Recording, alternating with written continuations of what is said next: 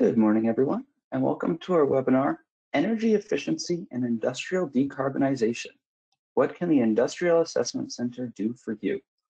My name is Matthias Wagner with the Division of Environmental and Financial Assistance here at Ohio EPA, and I will be moderating this morning's presentation. Before we get started, I'd like to go over a few things to help you participate and engage with our presenters. Our presenter this morning is Scott Eardley, a graduate research assistant at the University of Dayton Industrial Assessment Center and the current IAC student lead. And now I'll turn the mic over to Scott. Good morning, everyone. Uh, again, so this is energy efficiency and industrial decarbonization. Really excited to be here, um, and especially because we have a lot of services that we can provide facilities all across the state of Ohio. Um, so just uh, before we get into the thick of it, um, I wanted to introduce myself uh, and uh, my teammate, uh, Sean Kapp. So my, again, my name is Scott Eardley, uh, currently a master's student uh, in the Renewable and Clean Energy Engineering program at the University of Dayton. Um, and Sean is a current PhD student uh, in mechanical engineering, also at UD. Uh, and both of us work at our university's Industrial Assessment Center. Um, and as you can see up here, humble brag, um, we do keep ourselves pretty busy. Um, and as for myself, um, in addition to currently pursuing this master's degree. Um, I'm also coming from industry um, and actually uh, also having worked at Ohio EPA. So it's exciting to be able to work with Ohio EPA again. Um, tons of great services on both sides of the house here. Um, so I'm hoping that uh, you'll be able to, to find um, some extra value um, in, in what we can offer and how to make those connections. So uh, for today's webinar, I wanted to make sure that you um, had an understanding of what the IAC program is um, and what services are available, but also um, identify uh, our top five recommendations that we make um, uh, or have made uh, over the past 10 years uh, for the, several hundreds of assessments that we've done. Um, provide a case study of what these recommendations look like in real life, um, and then also kind of tease out some some additional types of recommendations that we we often make um, and then finally, uh, I definitely want you to walk away today with some tools and resources um, that you can use to establish an energy assessment uh, program at your own facility um, that's uh, free and publicly available. Um, you could get started today if you wanted. Um, and as well as um, uh, an exciting funding opportunity that's coming up. So again, overviewing of the industrial assessment program. Uh, this is um, a nationwide program supported by the U.S. Department of Energy, um, and specifically uh, the Office of Manufacturing and Energy Supply Chains. Um, so this program actually came out of um, a response to the 1970s energy crisis. Um, and the goal of the, the whole program is to assist small to medium-sized facilities improve their efficiency. And that includes energy efficiency, of course, but also productivity um, and materiality. so this program really has evolved uh, beyond just energy to include many different uh, facets of sustainability in general. And we're growing uh, every year. So we are up to 37 um, centers across the country, all housed within universities. Um, and are essentially the bread and butter of the program um, is we provide no cost energy assessments to eligible industrial and commercial facilities. Um, so not every IAC does both, but um, we're very proud to say that UD um, has been awarded the funding to do both. So here in Ohio, um, whether you're an industrial facility or commercial, um, we may be able to help. So I, I highlighted eligible because uh, you're probably wondering what does that mean? Um, so because it is a grant funded program with the mission to help small and medium sized facilities, uh, we do want to ensure that we are equitably distributing our services and resources. So um, we do have some eligibility criteria. What you're seeing on the screen here is our industrial criteria.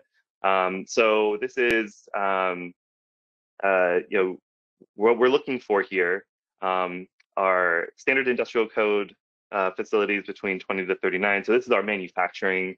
Um, it's a pretty wide range though. Um, so I don't want anyone to be discouraged if you're not quite sure if you're within that range. Um, and additionally, uh, the DOE also has uh, a drive to assist our wastewater treatment facilities across the nation. And so um, if you are a wastewater treatment facility uh, interested in um, in an assessment, uh, we do have these approximate size limits, so the three to 10 million gallons per day. Um, and then uh, for any uh, kind of more, I guess, private facility, um, we're looking at gross annual sales below $250 million. Uh, I'd like to emphasize gross, so I understand revenue could be much greater, uh, but we're we're just interested in the gross. Fewer than 500 employees and annual energy bills more than $100,000 and less than $3.5 million. So this is our general criteria um, for our industrial facilities. For commercial, um, the program's still being built. So um, actually now is a great time to uh, apply because we, we do not have nearly as much uh, eligibility criteria. Um, and what I would say too, uh, I put this up here so that you had a reference, but um, please, you know, if you are at all interested in assessment and aren't sure if you are eligible, or maybe you're just outside one of these ranges, um, please go ahead and contact us and apply. Um, so we are able to make some executive decisions, we're able to make some exemptions. Um, so I don't want to discourage anyone based on this. Um, I did want to give you kind of an idea though, what we're looking for um, and approximate size. So if you're at all interested, please contact us because we can probably work with you to make it work.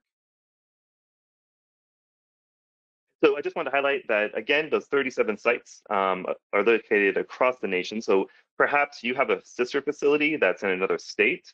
If you go to that website, the iac.university website, you can actually put in your uh, the zip code of whatever facility you're interested in, and it will provide um, you know the, the the five nearest IACs.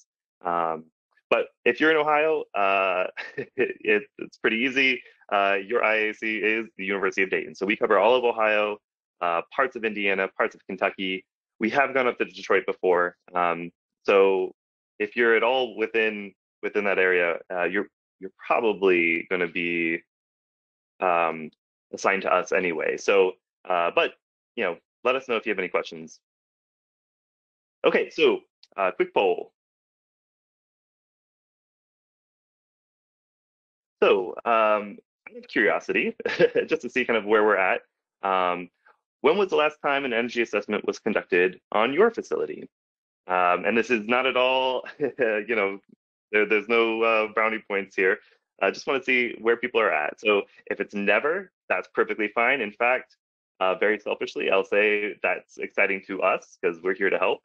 Um, you know, how was it in the last one to two years, three to five years? Maybe it was five years or more or maybe you don't know maybe you're new to to your role or new to the facility and you're not sure um, so uh, I'd, I'd like to see kind of just where we're at all right. Thank you scott. And i just launched that live poll. If everyone could please uh, take a moment and make your selections now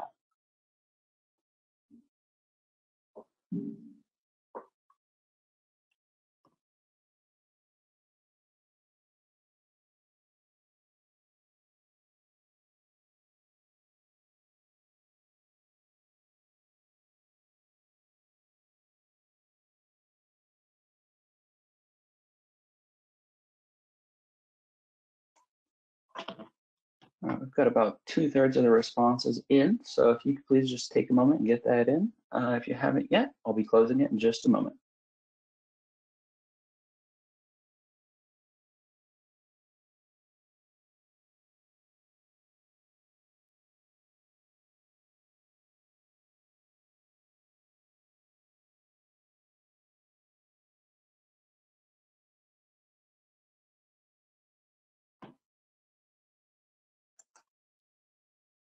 Right, let's see what we got. Looks like you've got a pretty even spread here, Scott, but about half of our respondents either have never gotten an energy assessment or don't know the last time that one was performed. So great, now I'll hand that back to you. Thank you. Um, and again, absolutely no judgment there. Um, in fact, um, I think this is this, so this is the first step of the assessment is finding out what is the history of your facility, um, what do we know about it, has an energy assessment been done?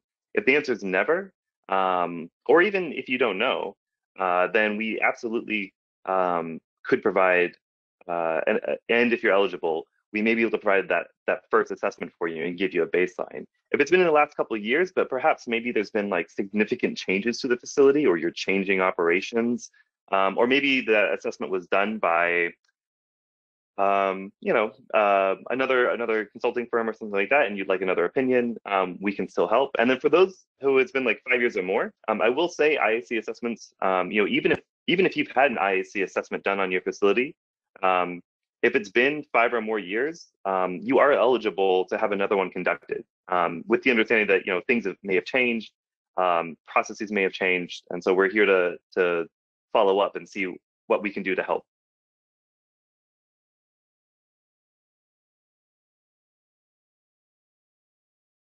All right. So um, what do these assessments entail? Um, so the basic assessment protocol. So what you can expect, um, you know, if, if we if we find that you're eligible, uh, you're ready to go, um, then what we're going to do next is we'll conduct a baseline analysis. So this is kind of the pre-assessment. So before we ever get on site, we'll we'll do the baseline, then we'll get on site, actually do a site visit, tour the facility, um, afterwards, we'll take all that information, roll it into a comprehensive final report. Um, and then finally, uh, uh, we'll have an implementation survey to follow up, you know, maybe nine months later or so uh, to see what was useful, what were some challenges you faced, that kind of thing. So for each one of these steps, I'll just briefly kind of go through the nitty gritty of, of what you can expect uh, for an assessment from the IAC. So this baseline you're probably all pretty familiar with you know the, the idea of reviewing your annual utility bills. That's that's where we that's you know a very natural place to start. Uh, it is an important process. Those those bills tell us a lot about how the energy is being used what type of power factor you have what kind of demand um, is being is being charged. Uh, but more importantly um, we'll take all of that and then we'll do a deep dive of the rate structure um, to see are there any opportunities that we can find to help you almost like a, on an administrative level. Um, where where are these charges coming from? Um, we provide that information to you. Um, and then the real meat of the baseline analysis is what we call a lean energy analysis. So it's the same idea um, or like theory as like lean manufacturing, but it's this idea that if you're spending money on energy then that energy should really be going towards your your product, whatever that may be, um, and or uh, you know uh, weather dependent factors. So you know space cooling, space heating. Um, so what I wanted to point out here, the reason I have these two graphs, um, these are so these are things that you might see uh, from a lean energy analysis. The one on top, um, this is actually uh, a determination of how your facility um, use it. In this instance, this is for electricity. So how your facility uses electricity in relationship to the outdoor air temperature. So for example, um, you know, we often we'll conduct this analysis first and then we'll get on site and uh, facility managers may say, oh, you know, we, we, we, our thermostat is set at, uh, you know, uh, for cooling, maybe 65 or 70 degrees. Um, but based on the the data that we have from how the energy is being used, you'll note here um, that blue triangle, um, it's showing us, uh, based on our statistical analysis, that actually it looks like weather-dependent electricity usage uh, begins at an outdoor air temperature of about 51, 52 degrees. So what that so this already is giving us information on what's happening. You know, is the HVAC system fighting itself? Um, are the internal heating loads higher than anticipated, and therefore, you know, you're actually cooling at a much lower temperature than you think. Um, so, so using that data and that statistical analysis, we can actually draw out a lot of information before we even get on site. Um, other types of information that we get from that, so if you look at the bottom graph, um, so those green bars along the bottom represent independent usage. So usage that the, the statistical analysis may not have determined was either for production or weather dependency. Um, and then that lighter blue bar you can see is weather dependent. So this makes sense though, because if you look down there, it's by months. So those are those are the, the cooling months. So we would expect to see higher weather dependency with electricity there. But again, the, the thing here though is that all of that independent usage could also be just constant production. So maybe you run 24 7, or maybe like for example, for a wastewater treatment facility, you can't stop running. Um, so it doesn't matter what the temperature is outside, you're going to still be still be running. Um, so the data won't necessarily show us that. So that's why once we go through all of this data analysis, it is so important for us to get on site and actually ground truth um, and speak to you. Uh, you know your facility best. Um, so we're there to find out what's going on, what's happening, how is energy being used. Um, I will, one last thing for the baseline analysis, if you do have um, an asset inventory, if you have an equipment list, um, we can actually then take all of this lean energy analysis, apply it to your largest energy users, um, and, and kind of give you an idea of where where are the big the biggest bang for your buck in terms of savings based on equipment. You know, is it going to be your HVAC? Is it going to be you know your production equipment? Um, is it your air compressor? That kind of thing. So once we're on site, um, basically, so uh, we get one day. Um, so just as a heads up, our scope is one day uh, typically, um, and uh, it's a very it's a very busy day. It often starts off with um, you know a typical agenda would be we provide a baseline analysis overview. Then we we spitfire a bunch of questions at you uh, to find out what what types of systems you have, what types of production are you um, are you uh, doing in your facility. Uh, of course, do a plant tour. Um, we begin doing calculations, uh, continue data gathering, and then before we leave that day, um, you will have our preliminary list of recommendations and our preliminary calculations for estimated savings. Um, so we do we do make it a point um, that by the time we leave from our site on-site visit, you have your preliminary recommendations. And then um, after about four to six weeks, we deep dive each one of those recommendations and then develop implementation costs, estimated savings, estimated carbon emissions um, avoided or reductions. Um, and then again, we'll follow up in about one year, so nine, nine months to a year to determine what, if any, were of the recommendations were implemented. If not, why? What were some of the challenges? If you did implement them, what kind of savings are you seeing? Um, and all of that information actually is then used to develop our greater IAC database, um, which is publicly available. And if you were interested, you could visit the IAC.university website um, and see what types of savings um, facilities are seeing from these assessments. So again, the systems overview, um, you might be wondering like, how deep do we go? Um, we do a pretty uh, thorough uh, investigation. So of course, things like lighting and motors, um, uh, you know, process cooling, process heating, those are pretty straightforward. But we will also do an assessment of, you know, is it feasible to use combined heat and power? Um, what type of industrial refrigeration exists and how can we improve that? Uh, can we optimize the compressed air system? Um, is renewable energy feasible for this site or what kind of benefit could it provide? Um, so, you know, these teams are, are consisted of uh, predominantly engineering students, um, many of which are graduate students. And so we understand that you're busy focused on focusing on production. You, there may be many things that you are interested in or wanted to assess, but just haven't had the time. Um, so I guess I'd like to emphasize that one of the value added to an IAC assessment is that we're we're there to help you. So if you have a project that you've been wanting to work on, or if you've had an idea that you'd like to suss out, but you just haven't had the time or or resources, uh, we're here to help. So we, we can help with that heavy lift. So then um, finally, uh, as I mentioned, that final report um, includes the detailed recommendations, estimated implementation costs and savings, as well as simple payback. Um, we prioritize all those for you so that you can see, you know, what would make the most sense to invest in first and then snowball that into the, the next ones. Um, and then our, not every IAC provides this, but ours provides a, it's called the 1230 method um, to attain net zero manufacturing. So we do provide um, a kind of bird's eye roadmap to decarbonization. So using the recommendations we provided for your facility, um, we'll do an economic analysis and kind of show you how you might um, move forward towards either net zero or whatever your, your goals are. So we can adapt this to meet um, what your facility is interested in.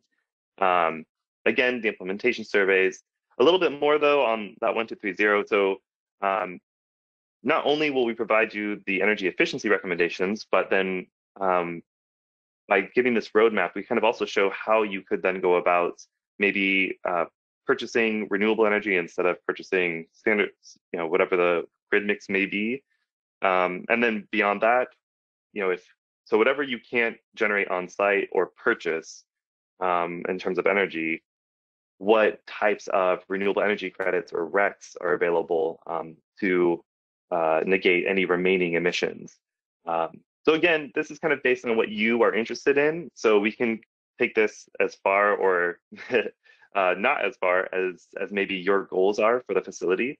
Um, but we do want to emphasize that as the DOE is supporting and um, really encouraging facilities to consider electrification and decarbonization, um, this can be a great starting point um, for how, how to move forward. Okay, so uh, for our top five recommendations, again, um, we've been doing this for a long time.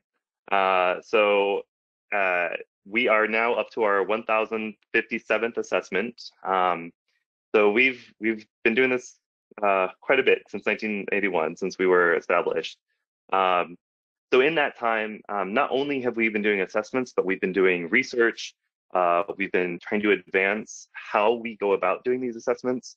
Um, so uh, I did want to share a little bit about what the University of Dayton specifically has to offer um, our clients uh, who who receive an assessment from us. So um, as you can see here, I kind of broke out um, recommended and actually implemented uh, savings.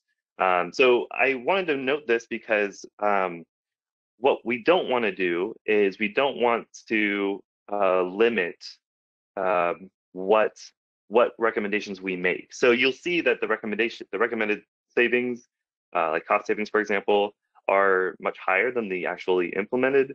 But part of that is because uh, we want to make sure that you have all of the information and ideas available. Um, and we we do try to make them as feasible as possible. We understand that maybe you know anything more than a two-year payback isn't going to work for you.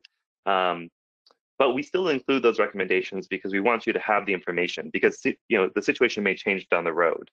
Um, but that said, we still do see a pretty significant implementation rate. Um, and then in terms of energy saved and emissions avoided, um, you know this these 10-year statistics are just for our center, but um, if you go to the IAC.university website, you'll be able to see kind of the nationwide statistics on what we're seeing in terms of average savings average emissions avoided, and it's pretty significant. Uh, so, you know, I think that sometimes we do wrestle with this kind of image of like, okay, so this is a student group uh, doing this assessment, but I do want to emphasize that we endeavor to provide quality professional um, products um, and services. So these are real calculations, real savings, uh, real emissions avoided.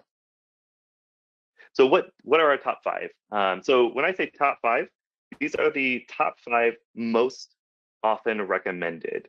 Um, but a caveat to that is if it is most often recommended for us, that means that it that means that it's typically the most feasible, uh, affordable. Um, it has a uh, we're confident in its payback. Um, so that's that's why we selected most often. There's a diff couple different ways you could do this, uh, but we thought that this would be the most useful to you. Um, so these top five include uh, utilizing higher efficiency lamps or ballasts. Um, this, to be very frank, essentially you can read this one as uh, retrofit to LEDs or switch to LEDs. Uh, number two, eliminate leaks in inert gas and compressed air lines. So fix your compressed air leaks. Number three, utilize energy efficient belts. Um, so I'll get into this more uh, in a second here, but essentially looking at what types of um, belts are being used for your motors.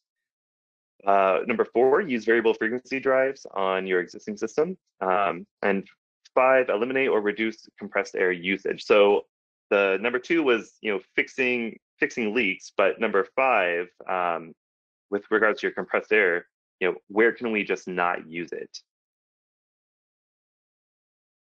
So um, just to kind of uh, highlight what these recommendations really look like, uh, so when I say you know, utilizing higher efficiency lamps and, and or ballasts, um, the types of questions we're going to be asking you when we're, we're, we're on site, what kinds of light fixtures are you currently using? What light, lighting, light, sorry, what lighting level is needed for your operation? So we understand that, um, you know, there are recommended light intensity levels for different types of work. Um, so for example, if, you know, in your quality department, if you have to have that intensity of light, we will not recommend that you reduce it. We're, so our, we are never trying to interrupt your, your production or your process. But maybe in other areas, we, we can. Maybe it is overlit in other areas and we can reduce that. Um, can retrofits be made um, as the bulbs are replaced? So this isn't, uh, it may not be feasible for all light fixtures, but for many fixtures, you can do one-to-one -one replacements. Um, but what does that look like? So, you know, are you gonna, would that end up overlighting your space. Um, so we'll do those calculations. Uh, and you'll see here for each one of these uh, next five slides for the recommended uh, top five recommendations, I'll have uh, the, the statistics associated with them. So times recommended, implementation costs, estimated savings, simple payback. Um, eh, for the sake of time, uh, I'm not going to go through each one of these stats. Um, I'm sure you, you, all can read. And I also just want to remind everyone that you do you will get a copy of this presentation as well, so you can review these um, at, at, your leisure. So for this one, the big takeaway being uh, LEDs are a, a, sure bet essentially, um, and uh, even if you don't have the capital up front, if you can do uh, retrofits or replacements as needed, um, even that will have uh, pretty good savings. So eliminating uh, leaks. So this is, you know, do you have a leak detection program? Um, and how do you track and fix your compressed air leaks? Um, I can't tell you how many facilities we go to where we do see the tags. So they're, the tags are everywhere, um, but they're like two years old.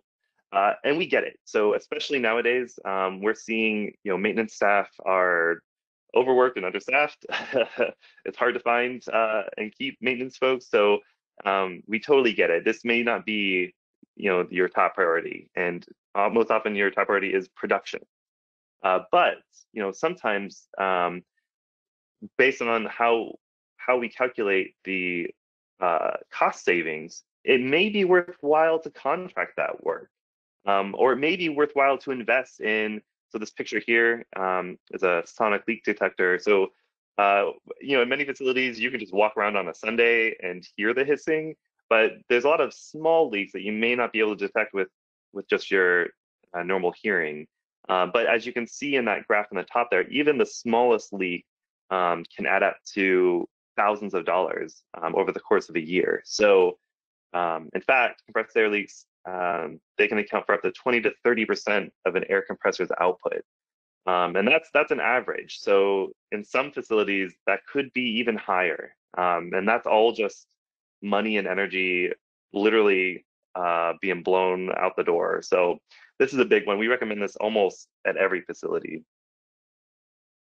Uh, so for energy efficient belts, um, so this is the idea that switching from smooth V-belts to notch V-belts um, can result in up to um, almost 2% efficiency savings, uh, but it also helps the maintenance. So this is a pretty easy one. You're gonna have to repl replace belts anyway.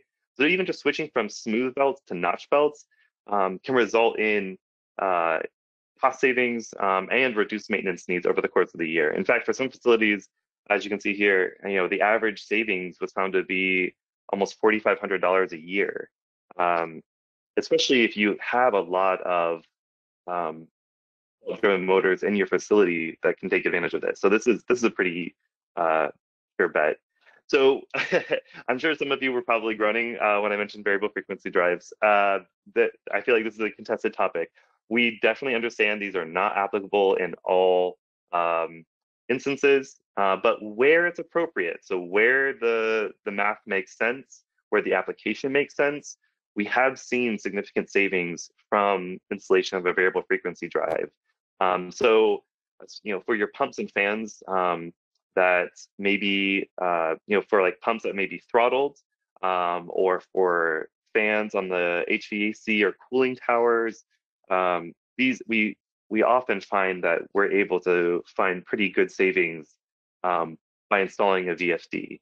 Um, and for those of you who may not be familiar with VFDs, so variable frequency drives essentially instead of allowing the pump to just uh, operate on off, so either uh, full speed or, or not, or throttled, um, the variable frequency drive actually allows you to match um, the flow rate to the needed pressure. Um, and essentially, in doing so, it takes advantage of the affinity laws um, or the relationship between motor power and speed. Um, and so, in doing that, you know, even small reductions in speed can have significant reductions in power. Um, so the idea is just to match match the need for the demand. Um, and and and just one last thing for throttling, you know, where we see throttling, we understand that maybe that's just how it has to be. Uh, that's that's how the the process works currently. But you know, if you think about it, you're spending a lot of energy and money to to drive um, whatever the fluid may be, and then all of that's being well, not all of it, but the majority of it's going to be lost once it hits that throttled valve. Um, and so it's just it's a it's a very energy intensive process that's not really providing any any service once it's been throttled. So something that something to consider. Uh, and then lastly, eliminating compressed air usage. Um, so can we turn it off? Uh, so this is, you know, here it's specifically talking to compressed air, but I would say this is one of our most common recommendations just oh around the facility. So, you know, can we turn off that CNC machine on the weekends? Can we turn off that motor when it's not being used? You know, uh, those presses, uh, we notice that when you are operating them, you know, they don't, they're not actually producing anything for several hours at a time. Could we turn them off uh, during that time? Um, of course, when we make these recommendations, we absolutely want to know from you, you know, is there a reason? You know, some equipment needs to warm up. Uh, some equipment, it doesn't make sense to turn it off because it's it needs to be available at any given time. So when we make these recommendations, we don't do them in a void. We absolutely want to know from you, you know, almost always there is some reason. Um, but if if we can turn it off, let's do it because that's like the that's the most valuable energy savings is is the energy that we don't use. Okay, another poll. Uh, this is this is a bit of a, you know, uh, I don't want to say a quiz, uh, but uh, if you remember, um, on average, compressed air leaks account for what percentage of a compressor's output? So 1 to 5%, 5 to 10, 10 to 20, 20 to 30, 30 to 40. Again, this is on average, um, and I did mention it back in that fixed leak slide there. So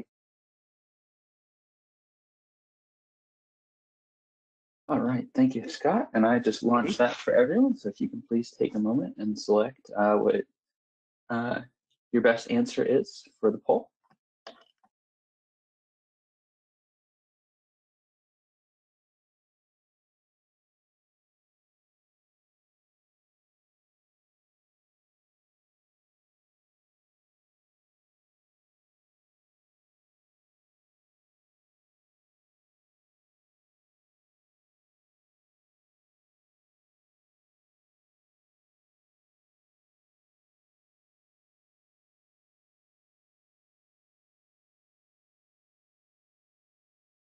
We have about 75% of the answers in, so I'll just leave it open for another few moments. If uh, you can go ahead and make your final selection if you haven't already.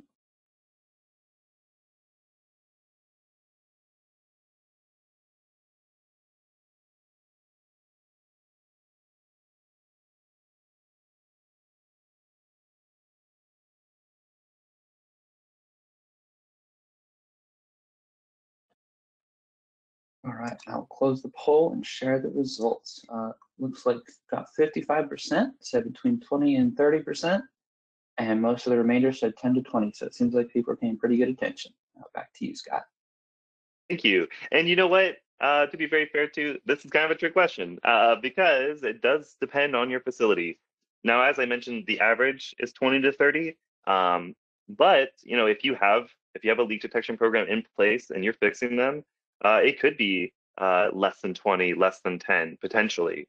Um, if it's a very leaky facility, it could be much more than 30. So we have seen facilities where almost 50% of all the compressed air that they were generating was going towards feeding leaks. Um, we have a couple different ways of finding this too. So I will say, you know, this is when we're when we're out on site at your facility.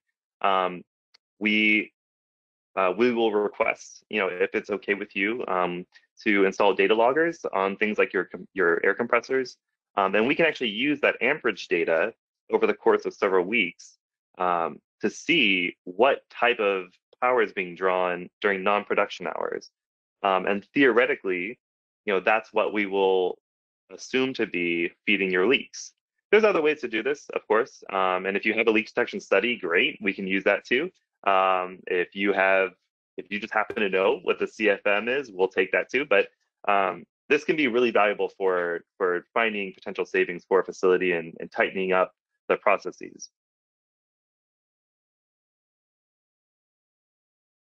Okay, so um, I did want to share with you again a case study of what what an assessment looks like when it's all said and done. Those top five that I told you, um, I don't want to call them low hanging fruit. Uh, they are essentially, but they're also very important opportunities for savings that don't require major investment. Uh, but in this case study, we'll show you a, a couple of the, the larger scale savings um, that we've been able to find for some clients. Um, so for this particular facility, um, so every every assessment we go on is given an ID number. So this one is UD uh, 1046. So this was our 1046 assessment. Um, this particular facility was um, a heavy duty truck manufacturer um, and massive footprint, 3.2 million square feet. Um, so this one, I will say this was kind of a, a, special case, but a really exciting one for us. This actually, um, I wanted to note that you'll see here their total energy costs do exceed what we would normally, um, or normal threshold. But this is, I use this because I wanted to point out that this is why you should still contact us, even if, even if you're just outside those eligibility requirements, because uh, depending on the situation, we might be able to make it work. Um, so this was a very large automotive facility. As you can see here, kind of atypically, we you know we normally see a much higher electricity usage to, to natural gas, but at this facility in particular, um, you know almost you know th almost 33% of their total costs were natural gas, uh, which is kind of unique, and we don't often see that. Um, but also uh, significant electricity usage. Uh, they did have a they did have a pre-treatment plant as well. Um, so their water um, was a bit higher than what we typically see at this size of a facility. So this is uh, their baseline results for their electricity. Um, so one of the interesting notes here, um, you can see on the left uh, where that change point temperature is, um, close to 70. Um, one of the interesting things is that that is also consistent with their their thermostat set point. So um, what this indicates to us is that the, the system is pretty well controlled. Um, and so what they're actually using versus what they set it to uh, is corresponding. And then another interesting note on the right here for the lean energy analysis of independent production and weather dependency, um, you see this massive independent usage. So before we got on site, um, you know, normally when we see independent usage, we often think of this as potential opportunities for electricity saving. Um, because obviously, if it's going to production and weather, that makes sense. But anything that's independent could be savings. Uh, but the catch here, and this is why it's important to get on site and not just rely on data, um, they operated 24 7. So some of the machines never turn off, or some of the, you know, the processes never stop.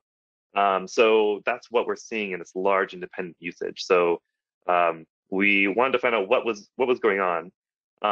Now, for the natural gas, uh, we saw that um, very weather dependent, as you can see on the right there. Most of it's going towards just heating the facility. That large facility is going to have a, a large weather dependency. But there was also this large independent and production uh, usage as well, um, which could be ovens, it could be furnaces. Um, but here, um, I'll I'll show you. There was a there's a special thing um, related to their natural gas usage and at this facility. So this table is something that you know, you would typically see in um, a final report.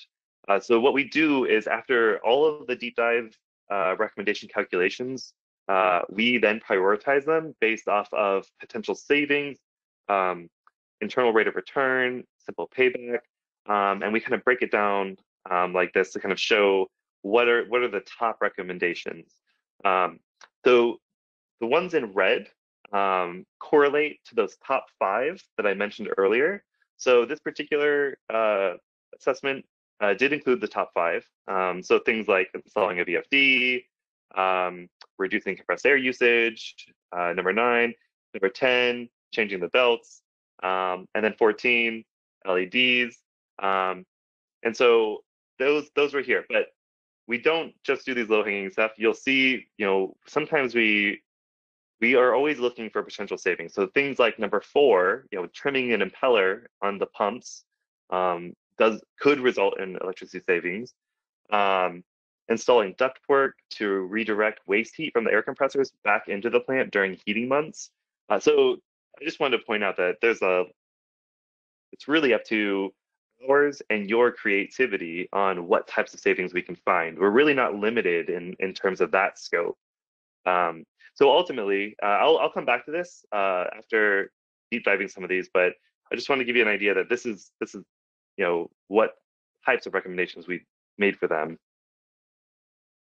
So things like reducing demand by shifting forklift charging. So I mentioned earlier, we, we do that rate structure analysis. So we also look at when is your demand being set? For many facilities, it's your peak usage for over a 30 minute period once a month.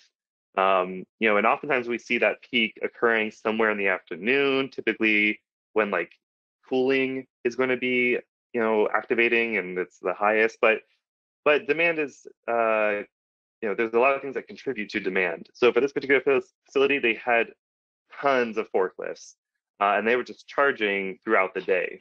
So, you know, one thing you don't want is to be pulling greater demand during during peak demand of the day.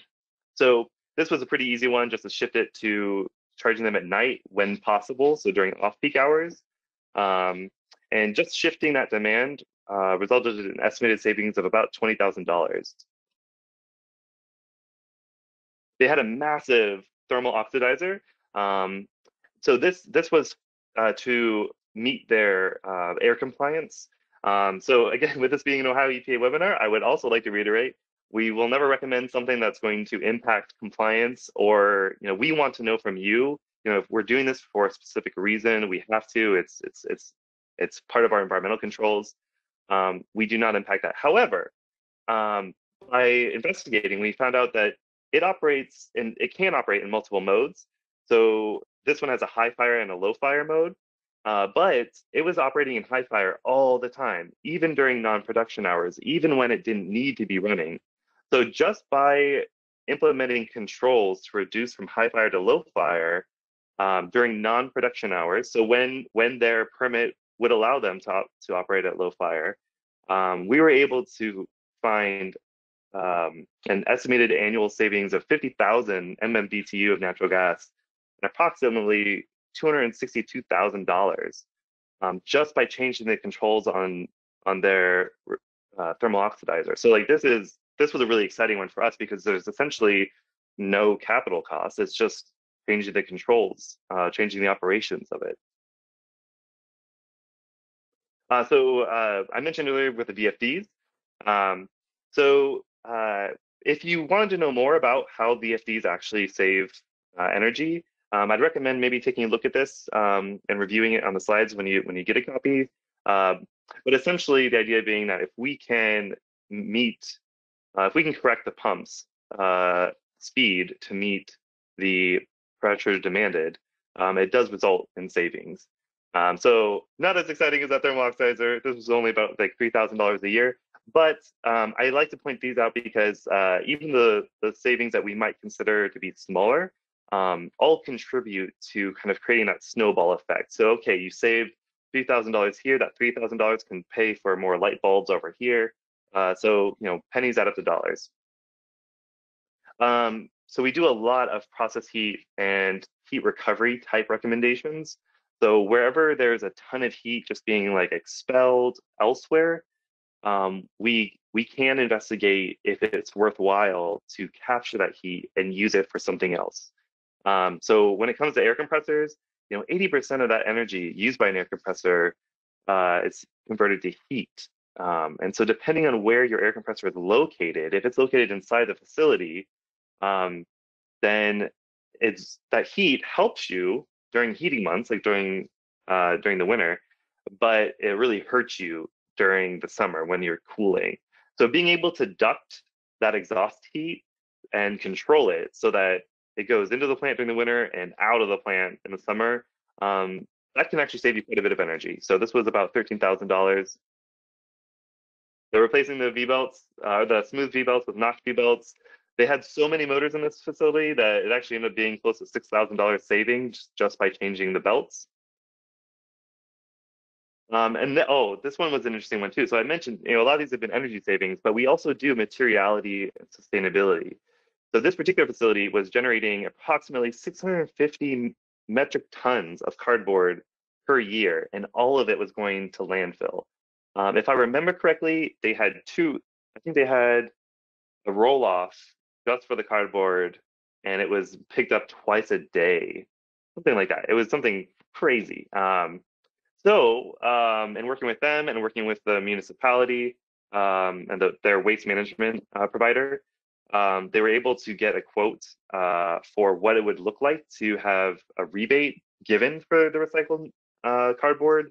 And then additionally, we worked up um, cost estimates for if they were to install a baler to reduce the number of loads, how much could that save them? So while the energy savings weren't the the lion's share of like uh, you know these weren't a great deal of energy savings for the facility this represented almost $130000 in savings and all of that cardboard was diverted from a landfill to a recycling facility um, so this was a really exciting one for us finally uh, I, I wanted to highlight this because i think sometimes we think okay leds yeah yeah yeah but look at this so this facility had about 5,000 fixtures, all of which were needing to be retrofitted to LEDs.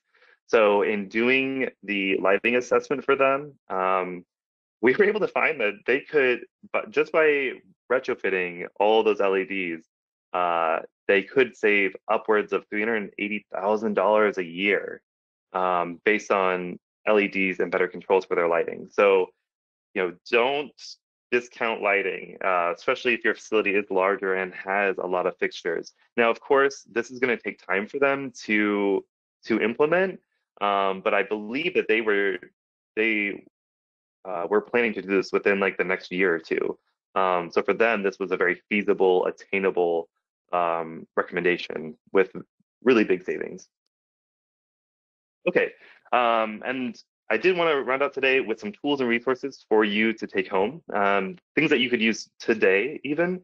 Um, so we, you know, the industrial assessment centers, we have kind of a limited scope. We only get one day with you.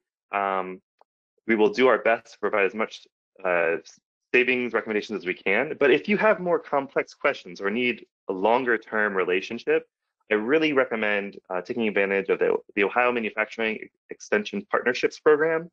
So it's uh, it's an initiative sponsored by both the state and the federal government uh, to help small and medium-sized businesses increase sales, create jobs, uh, and generate cost savings. Um, so they do things like workforce development training or improve management practices, but they can also do things like, hey, we have these CNC machines. I think we could run them more efficiently. I just don't know how. Or, hey, I really want to use a different type of energy for this. Like I want to use, you know, if I want to decarbonize, I'd like to use hydrogen, but I don't know where to start. Uh, the MEPs will um, are a great place to start uh, for that assistance. We have five across the state. So if you go to their website, um, you can see which one's located nearest you um, and start that conversation on, on what kinds of services they can provide. Similarly, uh, the US DOE Better Plants program, this is a free program, completely voluntary. There's no um, you you are asked to make a commitment to reduce your energy intensity, but there's no um, there's not going to be any like mm, punishment or fee or anything like that if, if you don't. Um, the idea is that you're committing to doing this and they want to help you. So as part of Better Plants program participant, um, you will be assigned a technical assistance manager, so a dedicated person who works for for the DOE um, uh, who can help you essentially kind of do what the IACs do, but uh, over a longer period of time. Additionally, they help you develop your own program. Uh, so using the tools and resources available uh, and their technical assistance. You can also receive national recognition for participating in the Better Plants program. So this is also a great way to get like a recognition for the good work that your facility um, is doing or wants to do. Uh, so you saw our um, our baseline energy analysis in the beginning. Um, this this is this was just rolled out by the Department of Energy. So this is a free service. Sorry about that. My dog just found a squirrel outside. Um, and so this uh, this is newer and not as robust as what we'll provide necessarily in terms of statistical analysis. However, if you're looking for a way to track your utility bills, see trends, um, do some of that basic statistical analysis, uh, VERIFI is there for you. Now, again, it's in beta, so they want you to use it and break it and let them know how it goes. So if you have any questions, uh, definitely hit up the DOE because they would love to work with you to, to see what's useful for you. Another uh, DOE, uh, again, these are all no cost, publicly accessible um, uh, tools and resources. This one is called MEASUR. It's short for Manufacturing Energy Assessment Software for Utility Management. So all those calculations I mentioned before. Um, so what we do when we go on site and we're taking measurements, collecting data, running the numbers, um, a lot of that has been organized into calculators um, and put into MEASUR. You can also um, as a facility manager or as someone in charge of energy management, you can actually model your systems uh, for your facility in MEASUR and save them. And then whenever you want to do a what if analysis, it's as easy as saying, okay, what if, um, you know, so for our compressed air system, what if I change the set point, you know, from our current 120 psi to 110? What kind of savings will I find? So MEASUR is incredibly powerful. Um, it's also uh, being developed every day. So if you don't find something that you would like to see there, let them know. They, they, they can build it. Uh, one last thing with MEASUR, you'll notice that there's a treasure hunt button on the right here. So this treasure hunt, once you've modeled your facility in MEASUR, the treasure hunt will actually help you develop um, an energy assessment plan um, based off of the information that you've provided. Um, so it's very cool. It's kind of you you could probably build a whole energy assessment in-house program using MEASUR. Um, and if you are curious on how to use it or, or would like an in-plant demonstration, the DOE can provide that, especially to Better Plants program participants. Uh, another one that they've rolled out is called 50,000 Ready, so or 50,001 Ready. Um, so this navigator um, is basically meant for anyone interested in getting ISO 50001 Energy Management System standards certified. You don't have to get certified to do the whole the whole certification process. However, if you're interested in that, um, this is a really nice uh, navigator to help you go step by step on what types of documentation you need to develop to get certified. Now, the other nice thing too is that by going through 50001 Ready, um, if you complete it, so if you complete the navigation um, and have all the documentation in place, you'll receive recognition from the DOE as a 50001 ready facility. Um, so if you're not quite ready for full ISO standard certification just yet, because um, that's a bit of a process, uh, you can still get recognition for being 50001 ready. Um, and then based off the documentation you've done through the navigator, you just hand that off to the, the certifi certifier, um, and it, it makes the whole process much easier. Additionally, it'll point out if you are already ISO certified in say environmental management or environmental health and safety, this navigator will let you know, hey, if you have this other ISO standard, use that portion or that section or that chapter uh, or that documentation here for this because it's equivalent. So it also will save a lot of time that way. Um, getting near the end here, uh, so this is uh, the database of state incentives for renewables and efficiency we often joke, be careful when you're searching DSIRE, but that's that's just the name of the database. They keep this updated regularly, um, so come back often. Um, but essentially, if you put in your zip code, this database will pull any potential rebates, grants, loan programs, um, initiatives uh, surrounding energy efficiency and renewable energy. So like you can find anything from like, is there a rebate in my area for replacing light bulbs?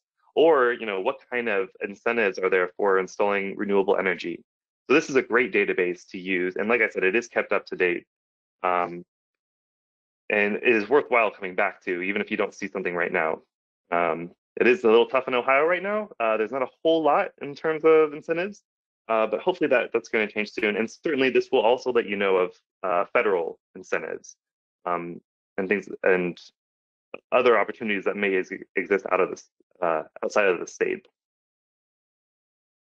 All right, this is my last slide, um, or the the last uh, uh, resource I wanted to provide. But we're really excited to announce that the DOE is funding what they're calling the Industrial Research and Assessment Center Implementation Grants. So by getting an Industrial uh, Assessment Center assessment, so an IAC assessment, you are you've begun eligibility for this type of a grant. So um, they don't have all the details out just yet, but what we do know is that these grants will be upwards of $350,000 cost share. Um, so some of these more capital intensive projects that you want to do for, you know, maybe a maybe based off a recommendation that we made as an IAC, um, the DOE wants to help you implement them. so again, we don't have all the details just yet, but this one's really exciting. And by having an assessment done by us, you're like already, you know, uh, you're halfway halfway towards this. So uh, very exciting. And with that, uh, we'll have our last poll the day. Uh, again, just because I threw a lot of acronyms at you. So what are some DOE tools that you can use to conduct your own energy assessment in your facility? So is it measure, balance, verify, both A and C, so both measure and verify, or none of the above?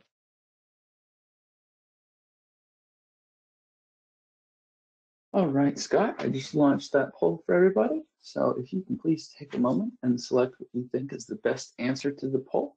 Uh, we'll have that closed in just a minute here.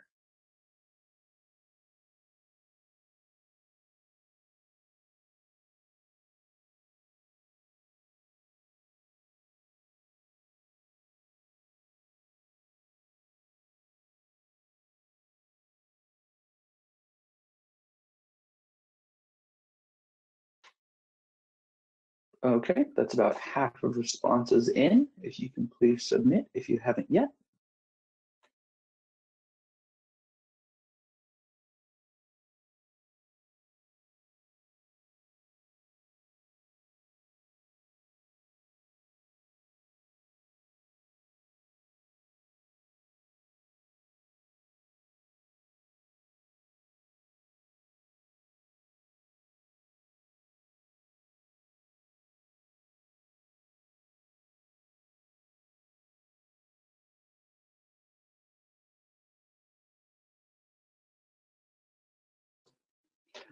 All right, looks like most people have answered, so I'll go ahead and close the poll.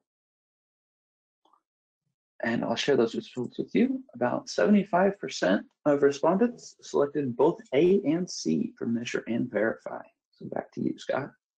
Excellent, thank you. All right, great job, team. Yep, so I know there's a lot of acronyms out there. And yes, measure and verify are both tools that you can use to do your own assessment. So I know we are running up on time. So I did want to close out with, there we go. Okay, so if you're interested, the best way to uh, request um, a no-cost energy assessment or, or ask us if you're eligible or you know start the process is to email us at udayton.iac at gmail.com or you can give us a call at 937-229-3343 um, as a heads up, we are students though, so the email is the best way to make sure that we catch you um, and start that process of gathering the information we need to determine eligibility. Um, or if you just have any questions about the program, again, they are no cost, but certainly I think people have, um, you know, if you, if you have any particular questions, we're happy to, to answer those or set up a meeting. Um, okay, and that's, that's all for me today. Uh, I believe the Ohio EPA just had a few last words. Uh, so I will pass that back to Matthias. All right, thanks so much, Scott. And actually, if you do have a minute, we had a couple questions come in. I was hoping you could answer just real quick. Yeah. Um, first of all, which I think you just said, we did have several people asking about the cost for a uh, analysis from you guys. Yeah, so just to reiterate, this is a no-cost program. So that we are supported by the Department of Energy through grant funding. So if you are eligible, this is no cost to you. So I say no cost uh, in the sense that we do not ask for anything. Um, so eh, by participating in the program, of course, we do, there is an expectation that um, you might have to spend a little bit of time in gathering data, uh, you know, your utility bills, that kind of stuff. And I do recognize that your time is valuable, but in terms of actual costs for the assessment, there is none. Um, we just ask that you you help us because we're going to need, um, you know, we're going to need your help in getting that data. So so if you can if you can spare a day for with us, um, that's that's all we ask. All right, you can't beat that. And then uh, the other question we had a couple of people asking was for those gross annual sales and employee numbers. Were those for an entire company or just the site that you would be coming Oh, into? great question. I'm so sorry. I meant to distinguish. This is site specific. So we understand that you may have a parent company or you may be part of a, a larger corporate structure. We, are- when it comes to eligibility, we are just interested in your specific site. So all, all the, the eligibility cr- criteria that I mentioned earlier is site specific. All right, that is fantastic to hear.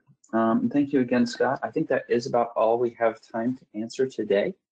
Uh, if you asked a question and we weren't able to get to it during the Q&A portion, uh, we will try and follow up with you after the webinar via email. Uh, so I did want to thank everyone for attending today's webinar. And before we wrap up for the day, I wanted to just share some quick information about Ohio EPA's upcoming webinars and some of our other programs that you might be interested in. So on April 18th, we have a webinar for Introduction to New Construction and Demolition Debris Rules. Join Ohio EPA to learn more about the new rules for C and DD processing facilities, which became effective in 2022. We will go over the background of these rules and explain which community partners and generators, like land banks, need to know about them. Uh, then for- on April 19th, we're having a webinar for the Water Resource Restoration Sponsor Program. Ohio's Water Resource Restoration Sponsor Program is hosting this webinar in preparation for the program's annual call for project nominations. The webinar will discuss important items such as getting the most out of your pre-nomination site visit, post-award construction oversight and management for restoration projects, a new tool to help implementers find potential sponsors, and more. And then May 2nd, you can join us for troubleshooting non-compliance at small wastewater treatment plants. Are you having problems operating your wastewater treatment plant? Non-compliance with NPDES permits? Is your wastewater treatment plant not running the way it's supposed to? Learn how the Compliance Assistance Unit uses cheap, easy, and effective process control tools to diagnose treatment problems and then monitor the treatment, treatment system to keep it in place. And then Ohio EPA has funding available for Ohio businesses, nonprofits, local governments, and schools through the Recycling and Litter Prevention Grant Program.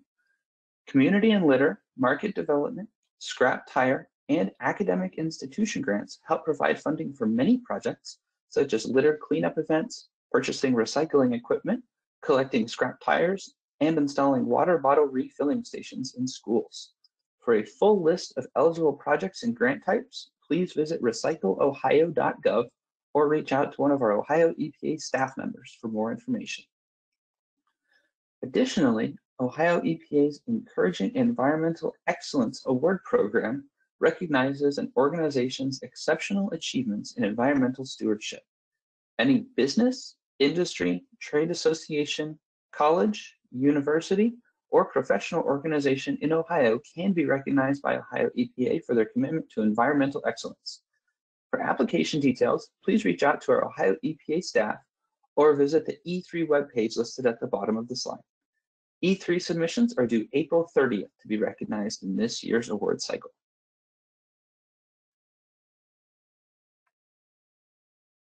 To register for any of our upcoming webinars, please check out our agency event calendar at the link listed below. The events calendar is on our main webpage, and the link is also on Ohio EPA's webpage footer at the bottom of each webpage. To receive notifications of upcoming webinars, please go to our Ohio EPA Customer Support Center. You can create an account and then go to the option Subscribe to Updates, and then select the subscription option All Trainings, Webinars, and Conferences at the link on the side. Um, the Customer Support Center link also is at the bottom footer of each web page. If you missed any of our past webinars, you can go to DEFA's webpage at the link below on the slide, epa.ohio.gov slash divisions and offices slash environmental financial assistance slash training. Once on the DEFA webpage, click on the word training on the left-hand menu column. Here you will find recordings of trainings you may have missed. You can also go to our agency YouTube channel to view recorded webinars. We will post the recording of this webinar on our YouTube channel, usually within about a week of today's webinar. We will also post a PDF copy of the PowerPoint slides with the recording. The YouTube channel link can be found at the bottom of each of our web pages on that blue footer, and the YouTube icon is next to the Twitter icon on the bottom right side of our web pages as well. And with that, I will end today's webinar. Thank you all again for joining us and have a great day.